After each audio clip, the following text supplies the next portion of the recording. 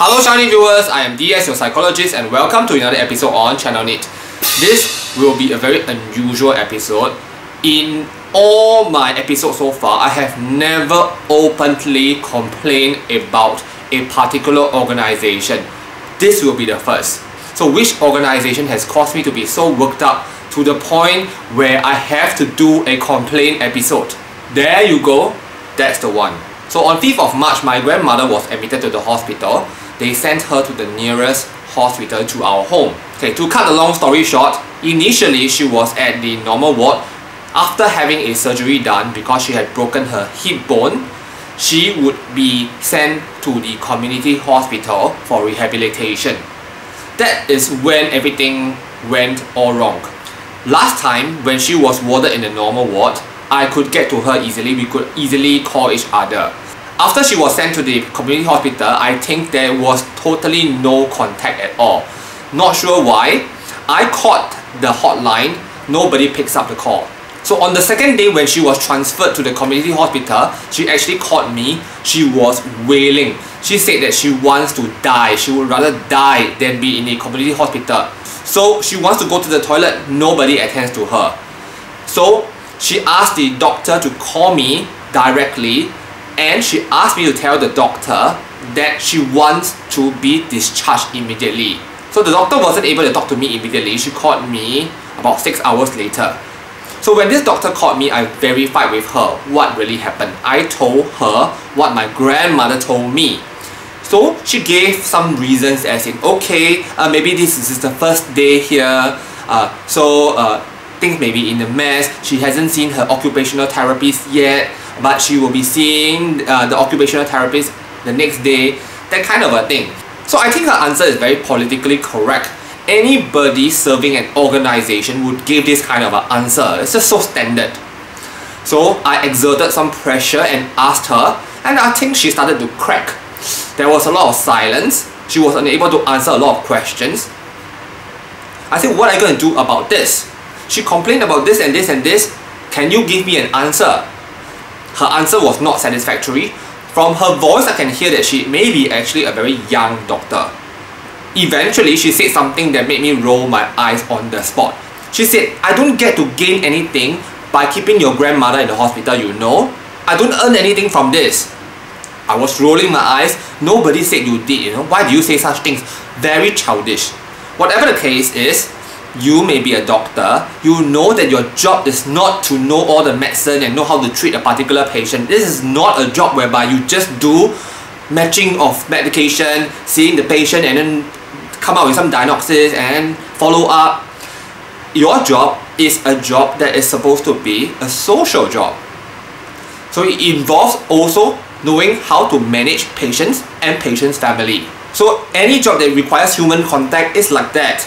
So get to live with it. So after one week, my grandmother eventually called me again. She said that it's very hard for her to call me also because the nurses don't want to give her the phone.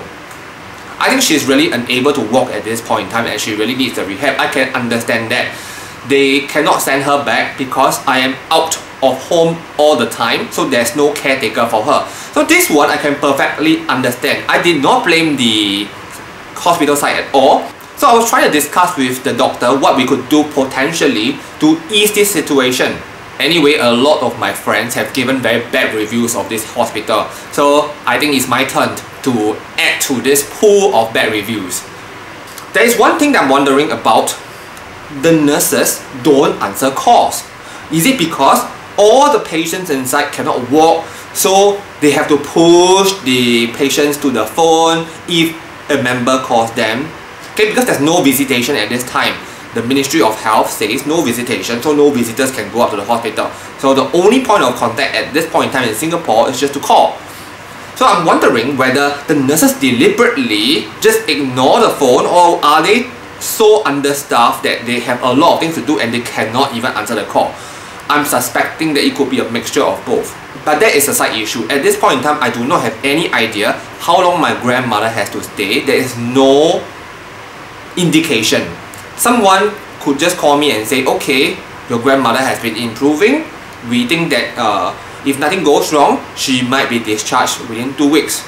You can give a very conservative estimate, but there's no contact from the hospital at all.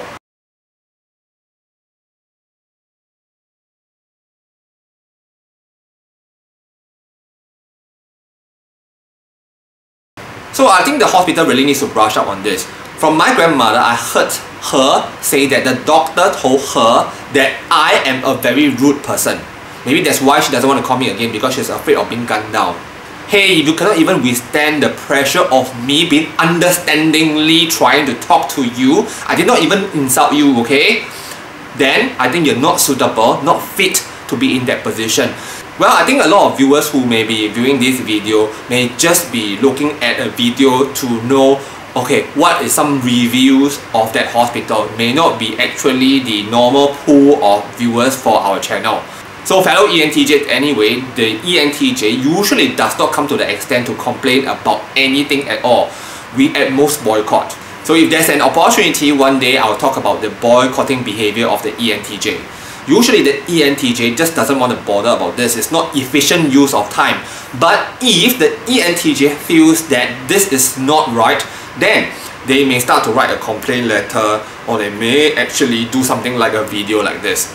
Well, even if the hospital is understaffed, I think this kind of uh, attitude or behavior is really unacceptable. So there might be some people who say that, oh, if you want super good service, then you should go to high-end hospitals. Mind you, a lot of high-end hospitals have equally bad service. Okay viewers, regardless of whether you're a new viewer or an ENTJ, if you have had any experience with this hospital, you can actually also comment below so that other viewers viewing this video can actually take a look. Okay, I'm going to sign off now and I'll see you in our next episode. Bye bye.